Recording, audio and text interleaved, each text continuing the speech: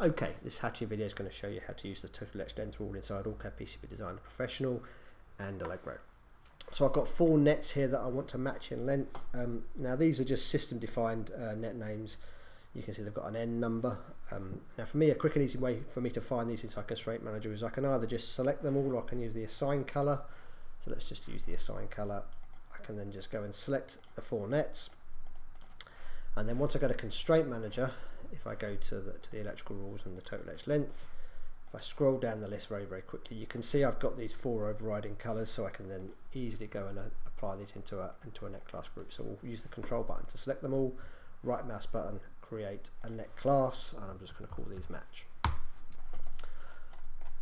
Okay, so there's there's the nets that I need. Now what I want to do is is actually find out how long these are. So I've got the but what I need to do is route them first, obviously. So let's just go to the add connect command and we'll manually just quickly just route these four nets.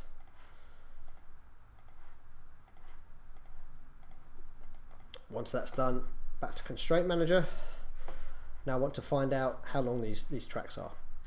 But I need to turn on the rule first. So if I go to the analyze analysis modes, there's the electrical modes, and for the OrCAD Professional, there's the, the total etch length, the differential pair. I'm just going to turn on the total etch length, hit apply and OK.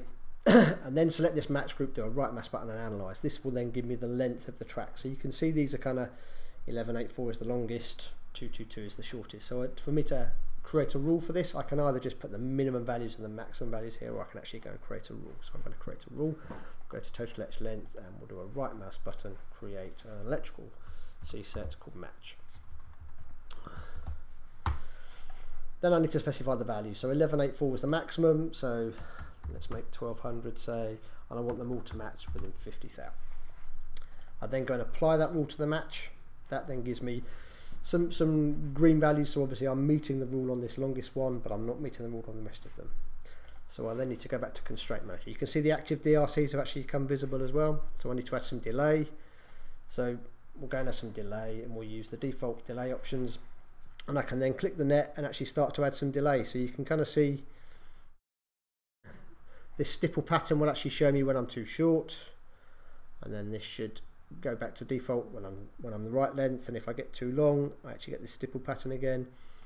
Click to confirm. And then if we just go to constraint manager you can see that I've actually updated that value